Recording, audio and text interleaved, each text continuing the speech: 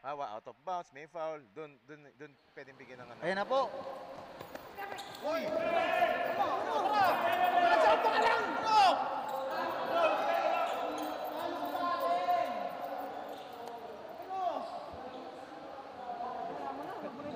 Pinigilan mo kasi ako eh. Huwag mo pipigilan.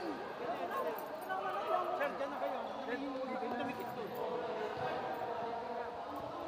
Tutukan tayo!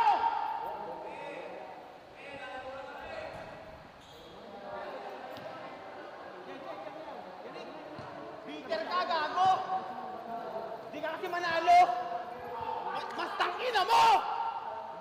Ano? Tangina mo, bitter ka sa akin habang buhay!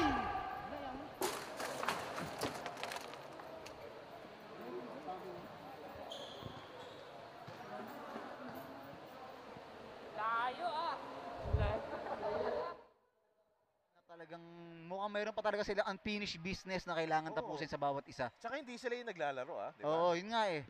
So pinaltok mo ng bola ni Jonas si Bon pero nakailag si Bon. Ayun na Well, po si Bon ngayon. Papunta na dito si Bon na may oo. ano. Pero lamang sila, sayang yung laro. Lamang sila. Ayun na. Ito, tingnan natin. So nagrereklamo si Bon ngayon. Pa, pre ano ba nangyari pre? Ha?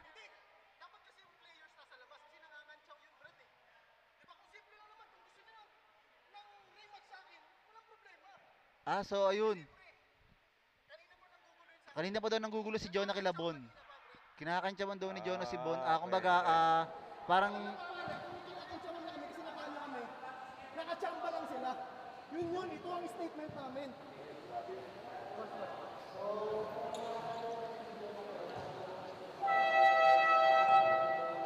bros.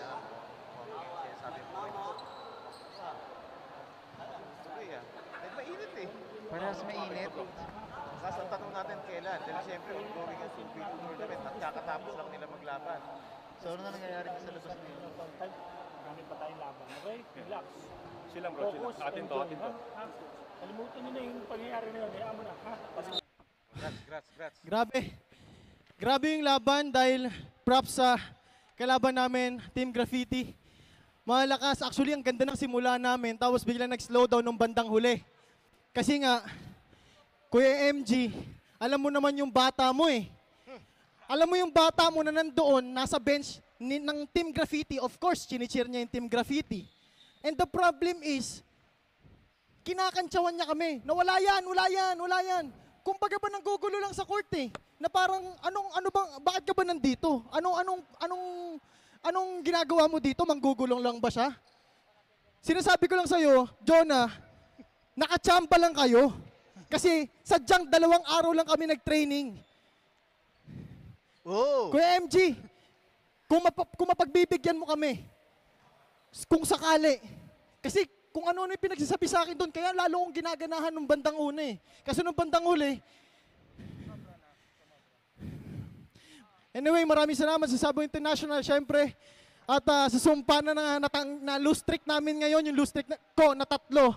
Thank you. Napakalakas ni Coach Rendon, Coach Ansay. Sabi ko sa iyo, Coach, babawi talaga ako sa iyo. And all out ako kahit sa training. Pinagsisuicide ako ni Coach. Talagang yung, yung stamina ko, yung speed, binabalik ko dahil nga, alam niyo naman, na-quarantine ako ng isang buwan. At I'm trying to build myself again para sa lahat ng mga laban, ako yung bata ni Kuya MG dito, lahat ng mga artista na lalaban dito, sa amin muna dadaan. At papatunayan ko yan sa inyo.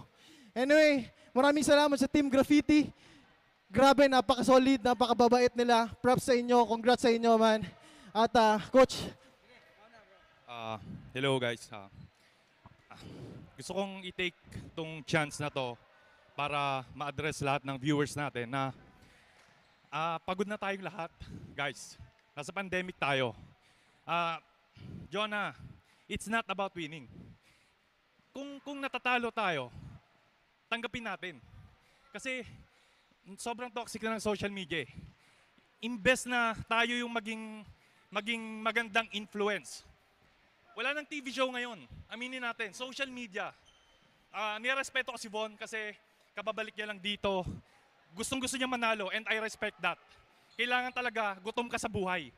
Pero guys, ah, para sa akin, yung panalo, walang kwenta yan.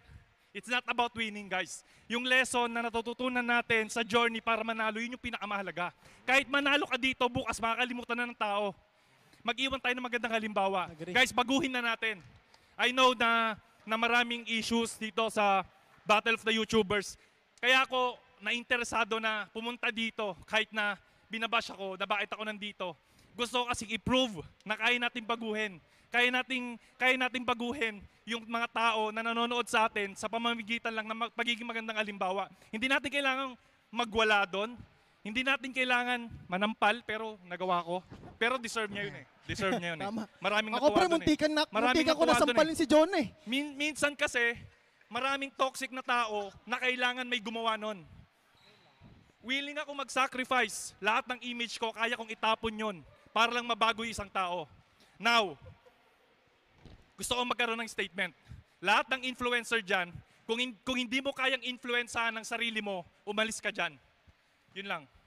And uh, gusto ko magpasalamat sa Battle of the YouTubers and uh, Color Peria, uh, SI, dahil, dahil ginagawa nilang lahat itong effort na to para makapagbigay ng entertainment, guys. We are doing our best. Nakikita nyo yun. Naipagtatayan kami. Guys, maging magandang halimbawa tayo. Maraming maraming salamat po sa mga tumalpak. Ah, sobrang thankful po sa suporta ni Von. And Maraming salamat, kung Coach. nagkakainitan man tayo, Brusco Brothers, dali natin sa court. Pag sa labas, dapat maging good example tayo. Ang daming batang nanonood eh. Ang daming Hindi ko nga alam, eh. Kuya MG, dahil in good terms naman kami ni Jonah, pero bakit siya pupunta dito just to sake na nabubulihin ako sa court na wala talo na naman yan. Sumpa, puro talo, sablay. Kanina na sumasablay ako kung ano-ano yung mga sinasabi. ano akong galit kay ano. Hindi ko alam kung ba't siya nagkaganon sa akin kanina. Pasigaw-sigaw siya nung una. Ako ba yun? Eh, nandun ako para supportan yung magkabilang team. Kasi nga tropa. Tapos yung pala may sama na ng loob. Ina, pasalamat ka. Ina mo. Salamat ka, si MG. Kaya sabi ko sa kanya nung di na ako magwawala eh, kupal ka.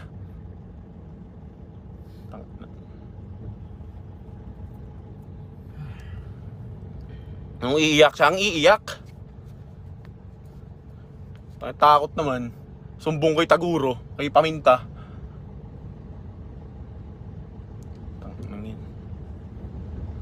Kupal. Bitter ata sa buhay.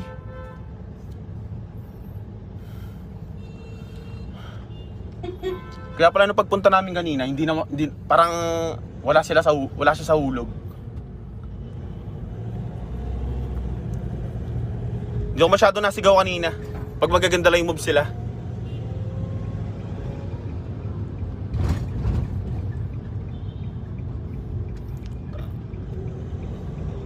Iyakin kasi talo.